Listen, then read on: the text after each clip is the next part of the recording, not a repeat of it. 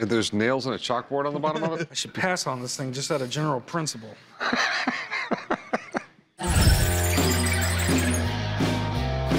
I came to the pawn shop today, tried to sell my antique Pepsi cooler. Wife and I are moving to Virginia. We're having a clearance sale at our house, and this is one of the items we wanted to sell. It's got great eye appeal, and I think someone's going to like it. So what do you got here?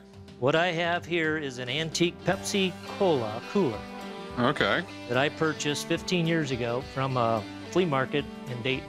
okay. Do you mind me asking what you paid for it when you got it? Um, 15 years ago, I paid 750. All right, do you know anything about it?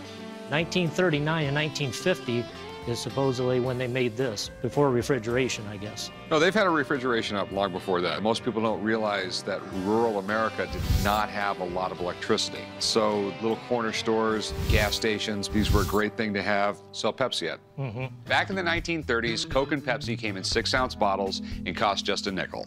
Then Pepsi introduced a 12 ounce bottle with the slogan, double size. And the Cola Wars had begun. Was it in this shape when you got it? I played softball for many years, and a lot of mm-hmm. times I would take it to softball games, and it held a lot of things other than Pepsi. Because this side over here looks like a backstop at one of those softball games.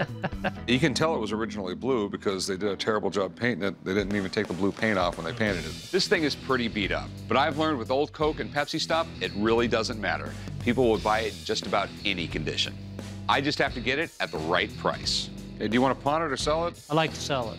How much did you want for it? Um, I know I paid 750 for it, as I mentioned, all the eye hold on, appeal. hold on. What, just because you got screwed doesn't mean I get screwed. That- that's not the way it works. I understand that, but I don't think something like this. I don't think you really have a hard time selling. But I mean, we're we're talking two, three thousand dollars to do a full-blown restoration on it, which will probably make it worth about three grand. I'd like to offer you around two hundred bucks for it. I can't take that. It needs a lot of work, man. About five. I mean, if we, if we bought it for three fifty, we could probably sell it for five without having to restore it. Yeah, that'd be someone else's project, not mine. You do four? I'm gonna stick at three fifty, Chief. Boy. Hmm. Well, I don't know. Hate to part with. My wife's probably going to kill me too. Okay, I'll do it. 350. All right, let's go do some paperwork. I just can't go home. Just don't wheel it over there. Get some oil on it first. I settled for 350 because my wife told me it's time for it to move, but I think I should have got a little more.